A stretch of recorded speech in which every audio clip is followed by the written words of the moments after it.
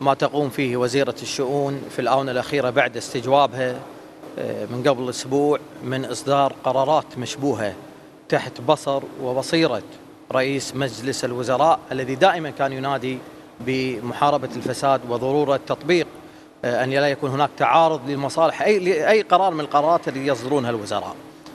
اليوم نتحدث عن من بعد صار لنا أكثر من أسبوع هناك قرارات خطيرة ومشبوهة أصدرتها وزيرة الشؤون.